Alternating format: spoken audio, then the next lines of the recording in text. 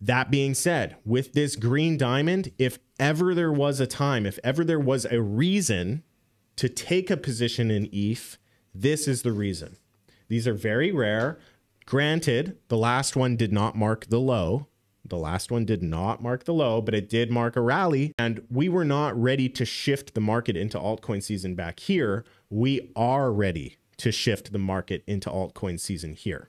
So if you are an ETH bull, if you are already buying ETH, regardless of me calling you an idiot for doing so, at this point right here, this is probably the best case that could be made for you to be buying ETH. If Ethereum can get above 3.8 million sats per ETH on a weekly candle close, that would be further confirmation that we are ready to buck the trend here on uh, ETH BTC, and we could be approaching the floor. And maybe in my 3 million sat per ETH target that I've had for the last two years might not actually happen, and we're finding the floor here. That could be what's happening right now. So, for the first time in a long time, I have something nice to say about ETH. That's not bad. That is not bad. Two week green diamond, ETH BTC. Oh, really?